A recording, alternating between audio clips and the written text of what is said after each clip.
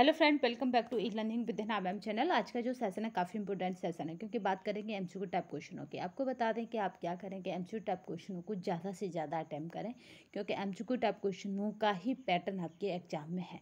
तो इसलिए अगर ज़्यादा से ज़्यादा आप एम टाइप क्वेश्चन अटैम्प्ट करते हैं तो उससे होगा कि आपके गलती होने के चांसेस कम हो जाएँगे। यानी क्वेश्चन जो आपसे गलत हो जाते हैं किसी भी कारण से एक्स वाई जेड वो सभी कारण की वजह से क्वेश्चन गलत होना मतलब जो परसेंटेज है गलत होने का वो कम हो जाएगा।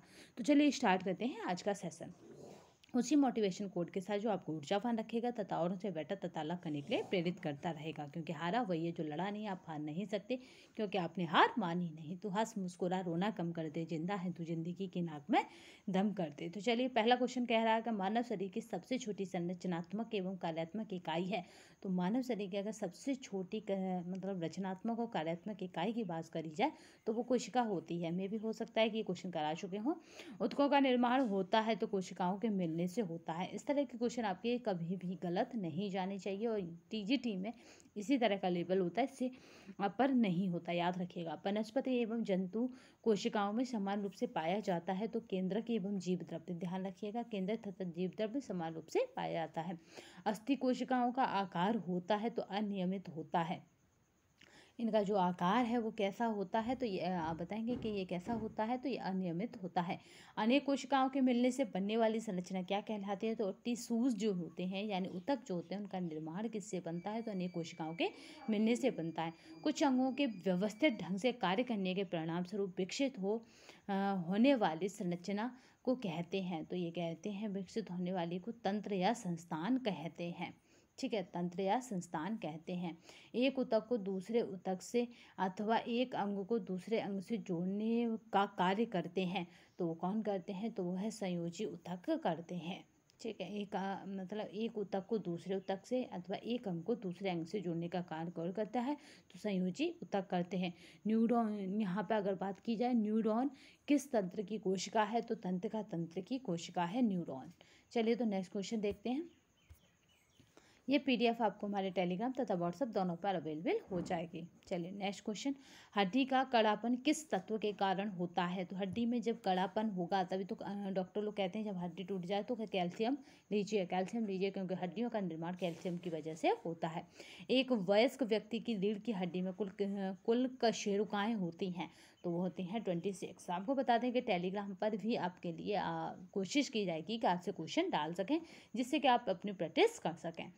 चेहरे के कुल कितनी हड्डियाँ होती हैं? तो चेहरे में कुल चौबीस हड्डियाँ होती हैं। चलिए नेक्स्ट क्वेश्चन मानव शरीर में कुल कितनी पसलियाँ होती हैं? तो ट्वेंटी फोर होती हैं। याद रखिएगा। पसलियों की बात हो जाए तो कितनी होती हैं तो चौबीस होती हैं बारह बारह इधर। और चेहरे में अगर बात की जाती है तो चौदह होती हैं, याद रखिएगा, सात इधर फेस पर, सात इधर। तो इस तरह से चौदह से बनकर आपका चेहरा बनता है। कोहनी का जोड़, कौन सा जोड़ कहलाता है? तो कब्जेदार जोड़ कहलाता है, क्योंकि यहाँ पे एक कब्जा फंसा होता है कुछ इस तरह के डिजाइनों में, आपस में। चलिए कूल्हे तथा कंधे के स्थान पर कौन सी संधि पाई जाती है? बहुत मोस्ट इम्पोर्टेंट है। तो याद रखिए, कंदू, यहाँ पे है, कंदुकल का संधि पाई जाती है। जो सो कूल्हे आपने देखा होगा कहते हैं ना, कूल्हा टूट गया है या फिर कंधा टूट गया तो यहाँ पे कौन सी संधि पाई जाती है? तो याद रखेंगे यहाँ पे कुंदुक कल का संधि पाई जाती है। नेक्स्ट क्वेश्चन देखते हैं। ये पूरी पीडीएफ आपको हमारे टेलीग्राम पर अवेलेबल हो जाएगी। कंकाल तंत्र उपयोगी है क्योंकि यह क्या कराता है? शरीर को आकृति एवं दृढ़ता प्रदान करता है। शरीर के कोमल अंगों को सुरक्षा प्रदान करता है। शरीर को गतिशीलता प्रदान करता है। उपयुक्त सभी है। चलिए नेक्स्ट क्वेश्चन देखते हैं यहाँ पर यहाँ पर जो रहेगा वो क्या रहेगा? उपयुक्त सभी। ठीक है।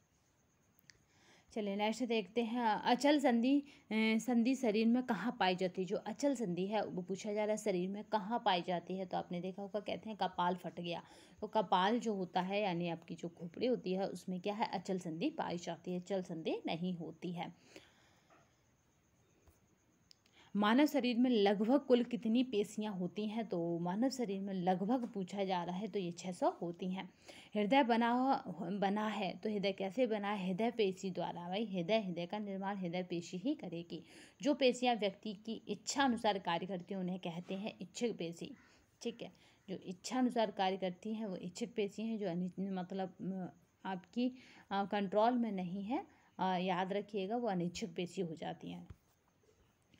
मनुष्य के मुख में कितनी लाल ग्रंथियाँ होती हैं मोस्ट इम्पोर्टेंट है तो छः होती है।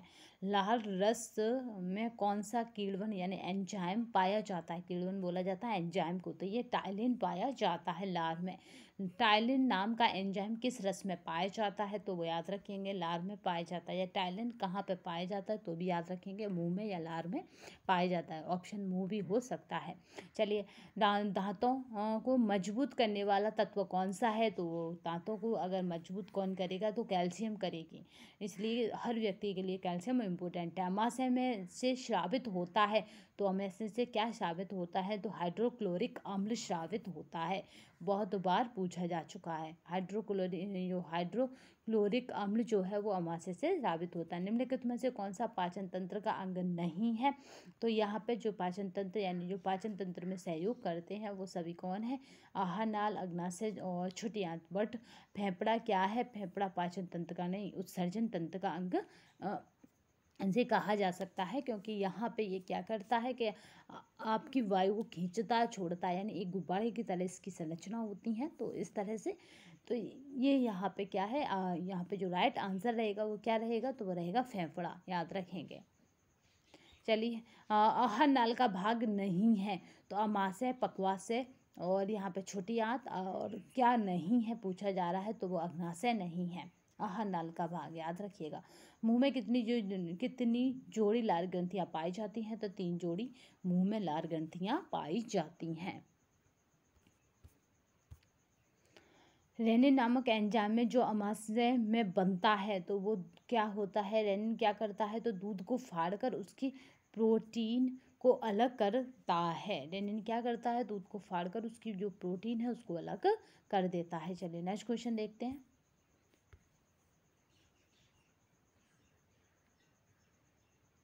कार्बोहाइड्रेट के अधिक सेवन करने से कौन सा रोग होता है? तो यहाँ पे मधुमेह नामक रोग कार्बोहाइड्रेट के अधिक सेवन करने से हो जाता है। चलिए, कौन सा विटामिन बसा में घुलनशील है? तो यहाँ पे जो विटामिन बनेगा वो क्या बनेगा? विटामिन वी बसा में घुलनशील है। नेक्स्ट क्वेश्चन, कौन सा विटामिन जल में घुलनशील है? तो विटामिन बी क्या है? जल में घुलनशील है। यहाँ पे कुछ गड़बड़ है पैटर्न में देखिए, यहाँ पे क्या कहा जा रहा है कि कौन सा विटामिन जल में घुलनशील है कौन सा विटामिन बसा में घुलनशील है, आपको पता देखिए कभी कभी क्वेश्चन का नेचर इस तरह से होता है, यहाँ पे देखिए एग्ज़ाम में भी यही हो जाता है कि नहीं दे रखा है। तो ये या फिर ऑप्शन के अकॉर्डिंग बिल्कुल सही है। कौन सा विटामिन बसा में घुलनशील नहीं है? यानी वो बसा में घुलनशील नहीं है, जल में घुलनशील है तो फिर राइट हो जाता है विटामिन बी इसी तरह यहाँ पे अगर कौन सा विटामिन जल में घुलनशील है तो विटामिन बी इस तरह से। ठीक है, ना पढ़, नहीं पढ़ने से कभी कभी हमारे क्वेश्चन गलत हो जाते हैं, ध्यान रखिएगा।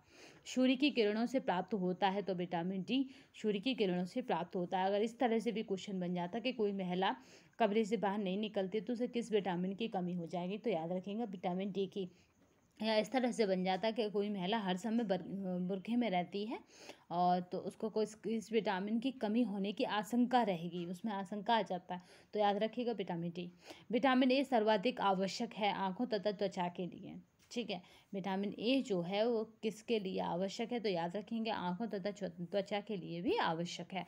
कभी कभी हमें ऑप्शन के अकॉर्डिंग अपना आंसर रखना पड़ता है। अगर त्वचा इसमें मर्ज है आँख वाले में तो त्वचा भी रहेगा। चलिए विटामिन सी पाया जाता है आमले में। ठीक है विटामिन सी कहाँ आंवले में पाया जाता है? आयोडीन की कमी से कौन सा रोग होता है? तो आयोडीन की कमी से गहंगा रोग हो जाता है। विटामिन डी प्राप्त करने का निःशुल्क स्रोत क्या है? तो वो है सूर्य की किरणें। किस विटामिन की कमी के कारण शरीर में रक्त बहने की दशा में धक्का बनने की क्रिया मंद हो जाती है? तो वो है विटामिन के। ठीक है, विटामिन के की दशा में ऐसा होता है कि शरीर में धक्का बनने की क्रिया मंद या धीमी हो जाती है। अनाज के अंकुर में भोजन का कौन सा तत्व पाया जाता है? तो विटामिन बी पाया जाता है। भोजन के क्या कार्य हैं? तो यहाँ पे है इनमें से सभी। ठीक है, भोजन के क्या है? तो इनमें से सभी हैं। शरीर को ऊर्जा वृद्धि तथा सुरक्षा प्रदान करना, पूर्ण प्रोटीन निम्नलिखित में से किसमें पाया जाता है? तो सोयाबीन में पाया जाता है। यहाँ पे है प्रौणावस्था में कैल्शियम की कमी से कौन सी अस्थि रोग हो जाता है? तो ऑस्टोमलेशिया अस्थि रोग हो जाता है। संतुलित आहार में प्रयुक्त मात्रा में विद्यमान होते हैं। तो यहाँ पे जो राइट आंसर है, ये तत्व या प्रोटीन खनिज, लवण तथा विटामिन वसा तथा कार्बोहाइड्रेट यानी ये सभी तत्व विद्यमान होते हैं। भोज पदार्थों में विद्यमान ऊर्जा के मापन की इकाई है तो वो होती है कैलोरी कैलोरीज में हम क्या करते हैं? ऊर्जा को मापते हैं। गहंगा रोग किस तत्व की कमी से होता है? तो वो है आयोडीन की कमी से गहंगा रोग हो जाता है। मसालों को आहार में सम्मिलित करने से लाभ होता है तो याद रखेंगे, मसाले भोजन को सरस तथा स्वादिष्ट बनाते हैं, भोजन को पचाने में सहायक होते हैं, हमारी भूख को सुचारू बनाते हैं। तो इसीलिए मसालों का जीवन में रोल है तो उपयुक्त सभी राइट आंसर हो जाएँगे। चलिए, मसालों में पोषक तत्व पाया जाता है तो यहाँ पे जो राइट आंसर है, वो कौन कौन सा है? प्रोटीन, कार्बोहाइड्रेट और वसा ठीक है। इन्होंने क्या कहा है? कि मसालों में पोषक तत्व पाया जाता है तो राइट आंसर हो जाएगा, इनमें से कोई नहीं, क्योंकि ये सभी भोज्य पदार्थों में पाए जाते हैं, ना कि मसालों में। अल्कोहल निम्नलिखित में से किस अंग को सबसे अधिक प्रभावित करता है?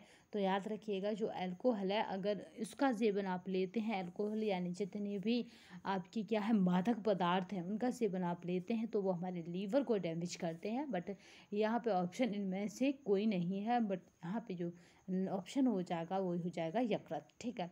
क्योंकि ये क्या करते हैं? ये लीवर को डैमेज करता है। अल्कोहल निम्नलिखित में से किस अंग को सबसे अधिक प्रभावित करता है? तो ये लीवर पर सबसे ज़्यादा अटैक करता है। मदरा के प्रकार हैं। तो मदरा के प्रकार ब्रांडी रम और वियर, ये सभी क्या है? मदरा के प्रकार हैं। मिर्च मसालों के अधिक प्रयोग से होने वाली हानियाँ हैं। तो यहाँ पे याद रखिएगा शक्ति घट जाना है, पेट में जलन होना है, पाचन क्रिया का अस्त व्यस्त हो जाना है क्योंकि तो आपको क्या होता है बार बार कभी कभी मतलब ना जाते हुए भी पॉटी जाना पड़ता है। वायु विकार दूर करती हैं तो यहाँ पे वायु विकार कौन दूर करता है? तो चाय को वायु विकार दूर करने में रखा गया है। चलिए, सफ़ेद नमक में पाए जाने वाला पौष्टिक तत्व है तो वो है सोडियम। ठीक है, सोडियम क्या है? सफ़ेद नमक या फिर कहें सफ़ेद नमक में पाए जाने वाला पोषक तत्व है, सोडियम। सोडियम की मात्रा सफ़ेद नमक में पाई जाती है। विश्व तम्बाकू निषेध दिवस कब मनाया जाता है? तो वह इकतीस मई को मनाया जाता है। पसीना किस अंग द्वारा निकलता है? तो पसीना त्वचा के द्वारा निकलता है। त्वचा को क्या कहा जाता है? उत्सर्जी अंगों की श्रेणी में रखा जाता है। मूत्र की शुद्धि, शुद्ध किस अंग में होती है? तो वो ब्रक यानी किडनी में होती है। मूत्र की शुद्धि। निम्नलिखित में से कौन सा अंग उत्सर्जन तंत्र का अंग नहीं है? तो याद रखेंगे अमाशय क्या है? उत्सर्जन तंत्र का अंग नहीं है। त्वचा है, फेफड़े हैं और ब्रक है। एक स्वस्थ व्यक्ति के मूत्र में नहीं पाया जाता है तो रक्त कणिकाएँ एक स्वस्थ व्यक्ति के मूत्र में नहीं पाई जा सकती। निम्नलिखित में से कौन कौन मतलब कौन सा अंग रक्त के हानिकारक पदार्थों को छानकर अलग करने का कार्य करता है? तो वो हो जाता है ब्रक यानी किडनी। इन पर इसीलिए सबसे ज़्यादा लोड रहता है, क्योंकि ये क्या करती है एक छन्नी की तरह हमारे शरीर को फ़िल्टर करती रहती है। ठीक है छानने का रक्त से हानिकारक पदार्थों को, यानी रक्त से जब तक हानिकारक पदार्थ नहीं छाने जाएँगे, तब तक हमारा सर्वाइव करना, यानी जीवित रहना भी मुश्किल हो जाता है। तो ब्रक, यानी किडनी पर सबसे ज़्यादा रिस्पॉन्सिबिलिटी रहती है। चलिए नेक्स्ट देखते हैं। पर संचरण तंत्र का प्रमुख अंग है, वो होता है हृदय। प्रमुख अंग की बात की जाए तो याद रखिएगा हृदय, क्योंकि इसके पंप पंप ना करने से, इसके ना धड़कने से व्यक्ति की मृत्यु हो जाती है। हृदय बना है तो हृदय बहुत बार पूछा जा चुका है, इसलिए मोस्ट इम्पोर्टेंट है हृदय पेशी द्वारा बना है हृदय हृदय पेशी द्वारा बना है। रुद्र की शुद्धि किस अंग में होती है? तो वो फेफड़ों में होती है। शुद्धि की बात की जाए तो फेफड़ों में, और शुद्ध कौन करता है? यानी छानता कौन है इसको? तो किडनी छानती है।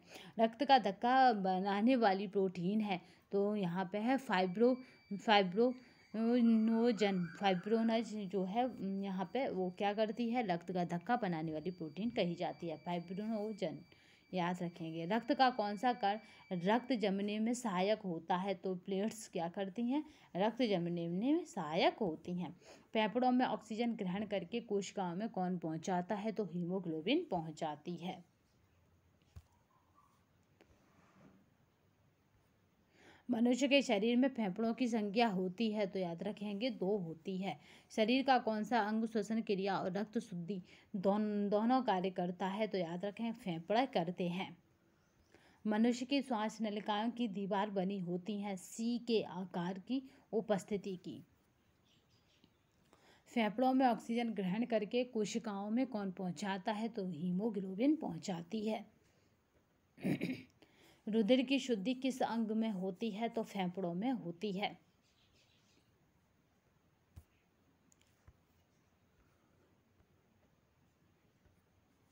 तंत्र का तंत्र के भाग हैं तो यहाँ पे याद रखेंगे केंद्रीय तंत्र का तंत्र परिधीय तंत्र का तंत्र और स्वायत्त तंत्र का तंत्र ये सभी क्या है?